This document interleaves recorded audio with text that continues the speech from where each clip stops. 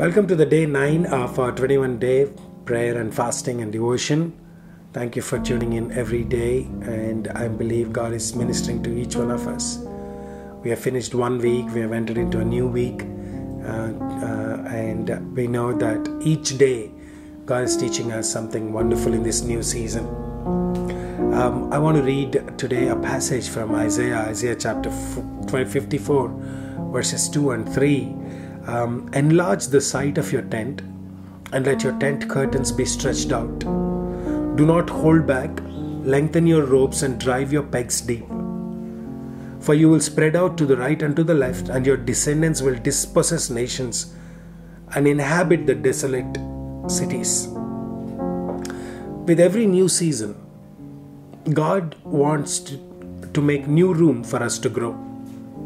However, sometimes we enter into a new season still planning and and uh, and dreaming within the same limitations and boundaries of the previous season. Uh, we find it hard to imagine anything beyond the limitations we have previously known. Just like Israel, we need to um, um, receive a revelation in our hearts that God is stretching our capacity and that we can expect God to do greater things. In other words, instead of allowing limitations to keep us in the same place we are in today, like the previous season, um, we need to allow ourselves to be stretched, stretch our imagination, stretch our prayers, like Jabez's prayer, stretch ourselves and ask God to enlarge our tents so that this new season would be a different one than the previous one. In Ephesians chapter 3, verses 20, Paul says that God is able to do infinitely more than we ask or think. Um, think of that word infinitely more than we ask or think. God is able to do even more than whatever we can imagine right now, here.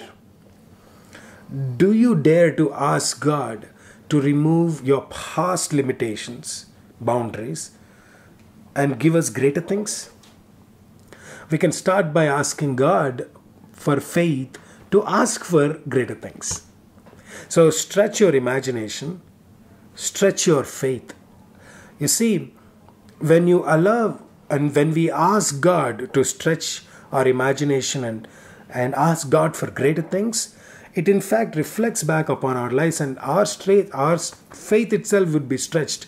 We become stronger.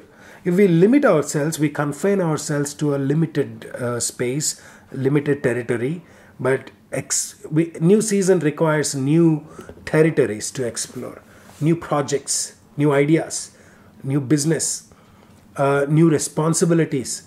I, I love God to give you that. Ask God for greater responsibilities, greater opportunities, uh, so that your faith can be stretched.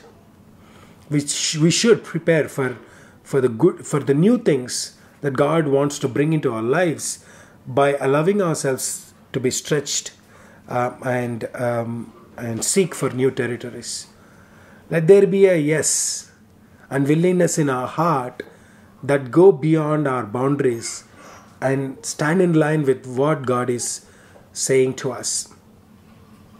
Um, I believe in faith, I and in practical ways to what God is saying to us is the key to increase in fruitfulness that is coming to us.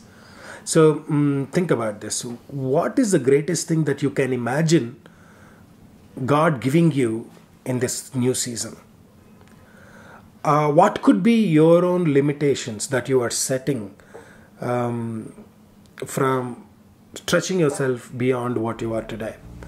Uh, what are those areas? And ask God to remove them so that you can walk with God.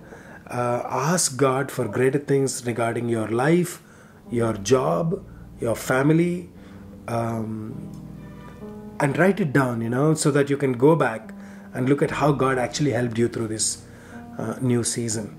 Ask God to remove old limitations and ask God to stretch your faith so that you can begin to see new, conquering new territories this season. I pray that God would enable you to do that. God bless you.